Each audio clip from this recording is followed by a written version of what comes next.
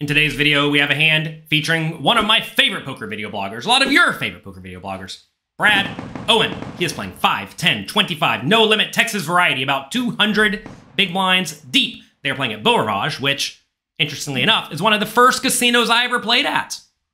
Long time ago. Let's get to the hand. Next, it's our turn for Ace Queen. We're under the gun plus one. I raised to 60. Quite a few interested customers the button calls, who was the opponent in the last hand, he's out for revenge. The big blind calls, and the under the gun straddler calls as well. We're going four ways to the flop. It comes queen three deuce rainbow. We've got top top and a backdoor straight draw. Still, there are lots of other players in the hand. Checks to us. We're going to be firing for value and to clear out the field. I bet 140. So right here, the pot's 245, and Brad decides to go for a chunky bet, 140. Look, in GTO World, which I know is not where we are playing at Beau Rivage, this is a spot where you actually want to check with your entire range. I know that may sound crazy, but that is what you should do in GTO World. That said, we're nowhere near GTO World, and I think a lot of players are going to call any normal ish bet far too often in this situation with hands like under pairs or a queen with a bad kicker if it goes bet and call or bet and raise. So if your opponent's are going to splash around far too wide, not recognizing that Brad's anything on betting range to just be super duper strong, especially when he goes kind of big, then betting big is good because your opponents are not going to uh, respond adequately. I think if you are going to bet, you probably want to go just a little bit smaller in this spot. Pot is 245. Maybe when you go 140, you get pocket sixes to fold, but maybe your opponents just aren't going to fold for any bet. And if that's the case, then might as well bet bigger. They want to get on the blog after all. They get two for one this time. Maybe we'll win right now, or maybe we'll get one caller. I don't anticipate much more action than that. I'm very wrong. No one folds. The three opponents all call. I'm not even sure what to put everyone on. I imagine one player has a queen and the rest either have straight draws or slow playing sets. All right, all right. we bet button calls, big blind calls, and under the gun calls. A kind of big bet. So look, uh, Brad says he thinks one of the players has a queen. I think that's certainly reasonable if I was the second player yet to act and I had any queen, I'm just not going to fold. The third and the fourth player, though, what should they have? Well, I just said if it goes big bet and call, like queen 10 should just fold.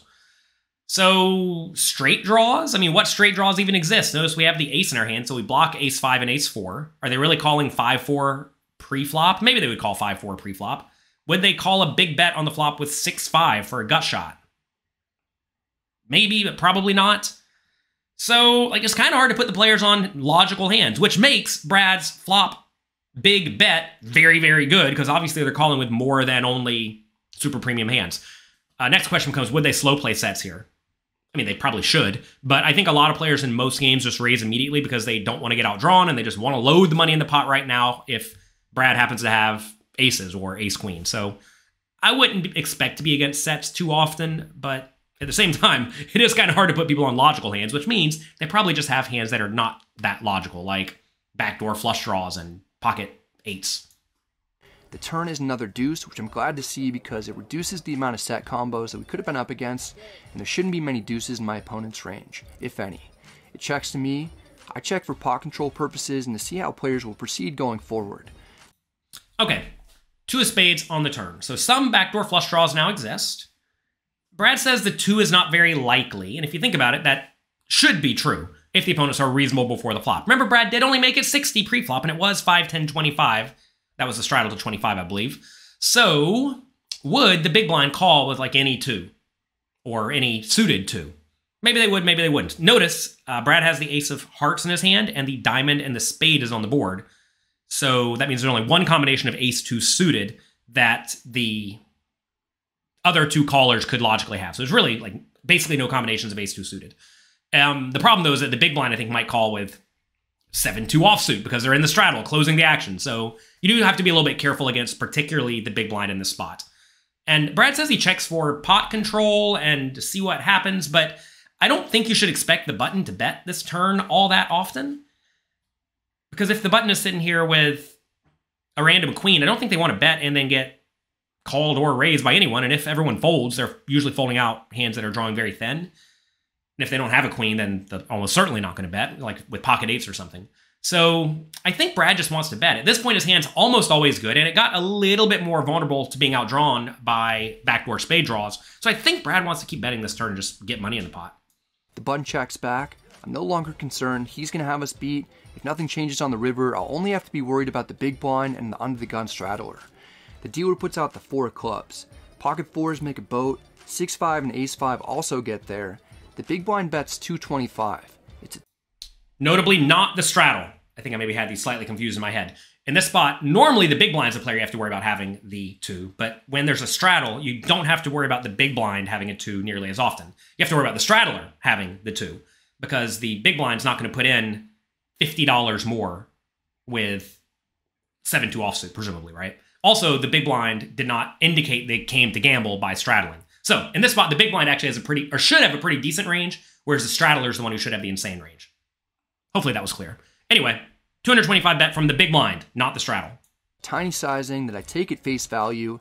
It looks like he has a medium strength hand like a bad queen and is trying to get to showdown as cheaply as possible. All right, so the opponent bets 225 into the $805 pot. What I want you to do is ask yourself what you would do with this ace queen after the straddler folds. Do you find a fold? Do you call? Do you raise to $600?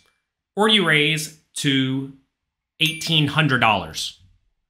Take a second, think about it, and write what you would do in the comment section below. Under the gun folds, we won't be folding. We didn't put in the raise on the river in the previous hand that we went over, but we're putting one in here. I make it 600 to go. All right, 225. Brad makes it 600, about 2.7, 2.8 times the opponent's bet. And this is a spot where you have to ask how much will my opponent call with their marginal value hands? What is a marginal value hand here? Well, obviously a queen. So how much will your opponent call with a queen? And I don't know. I would love to be able to get a little bit more money in the pot, like 800, but thinking it through, given a lot of people are kind of weak on the river, especially if you do put in a call it a big raise, I think Brad's size is pretty nice because I think a lot of people with a queen are just going to call, and I think the big blind's going to have a queen a large chunk of the time. This is for pure value to get a hand like King Queen or Queen Jack to call. The button folds, the action's on the big blind, he's got our number, it's 600, but he's not going to call us maybe. He re-raises to 1600. Oh my god. What on earth is going on here? They say if you get check raised on the river, you should almost always fold because you're pretty much just going to be up against the nuts. If you get 3 bet on the river, it's even more likely. I'm replaying the hand in my mind. I was so sure that the small river bet was a blocker. Now I'm wondering if he was trying to induce a raise with a hand like quad deuces or 3 or 4s full. I don't think that we'd get re-raised by a straight, so I'm ruling that hand out. Pause, pause, one second. So when people bet small on the river, if they're trying to play anywhere near GTO, which again, they're not necessarily playing GTO, they ought to be betting small with a lot of thin value hands, like a queen, but then also some super nuts, like full houses, and then also some bluffs, some rare sporadic bluffs. So, will the opponent bet small on the river with a full house? Some people literally never do that. A lot of people literally never do that because they want to get a lot of money in the pot, and when they bet 200 or 225, that's just not a lot of money. They're losing a lot of value. But if they are trying to protect their ranges at all, they want to make sure they have some super nut hands in their small betting range and their big betting range and also their checking range so that they can put in a raise when they feel inclined and also to induce players like Brad to not raise all that often, which is far better for your marginal thin value hands. Especially because we have removal to ace 5. The opponent will never have queens full, and actually should be concerned that we could have that hand because occasionally I might check turn with pocket queens, figuring that we'd be up against a lot of straight draws that wouldn't be able to call a turn bet, but may bluff river if they don't get there. I'm confused, but I go with my initial read that the opponent bet small with a medium strength hand and may now be attempting some kind of Hail Mary bluff. Whew. That's that's a bit of a, a leap in logic, I think, where I think they're betting small for thin value. They got raised, and now they're going to decide to take that thin value hand, like a queen, and then re-raise it big. This is a weird spot. I definitely agree. I would probably have found the call too. I would have hated to find the call here, but look, pot odds exist. It's a thousand to try to win what four thousand. Are we good? Twenty five percent of the time. And look, I don't know. I'm sure some of you in the comment section below right now are typing, idiot call, idiot call. Brad always calls. He's such a calling station. And yeah, of course, Brad's a calling station. We all know that. But this is a weird one. This is a weird one. I think this call becomes probably worse against decent players. The thing is, like, decent players shouldn't call the preflop raise from the big blind with very many twos, right? I think this bluff would work a whole lot better if the big blind was a big blind with no straddle, or if this was coming from the straddler, because then they can actually reasonably represent a whole lot of twos. But here, the opponents really call it logically representing only a few full houses, right?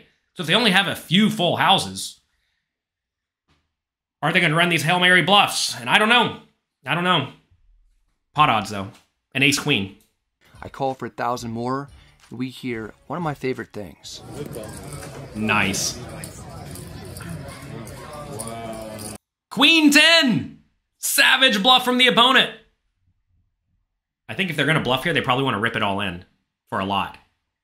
Small bet for thin value. You get raised. You want to block Brad's calling hands. What are Brad's logical calling hands? Well, pocket queens, obviously. And then ace queen, pocket aces, pocket kings. So I think right here, a hand like queen 10 would be a pretty nice all in. I think this player probably messed up by going too small. I give them full credit for attempting this savage bluff, but I think the only way this is going to succeed to get Brad to fold out a hand like aces or ace queen is to rip it all in his face for like $5,000. Can't go for these small raises. Calling Station Brad's going to call every time. The opponent turned Queen 10 offsuit into an odd bluff and takes himself straight to Value Town. Our assessment of the situation is correct that the big blind bet small on the river to get the showdown cheaply, then for some reason decided to charge himself the maximum to get to showdown. We win a big pot even for the stakes that we're playing tonight. Our stack climbs almost 8,000. Nice hand for Brad. He scoops a loop. Scoops a loop. He scoop a loops a nice pot by making a savage hero call on the river. Good job, good work. Brad gets it done. That's me for today. If you enjoyed today's video, do me a favor, click the like and subscribe button down below. Huge thanks to Brad for letting us use his footage here. Good luck in your games. Have fun. And when you get three bet on the river and you decide to call, I hope somehow your opponents are bluffing.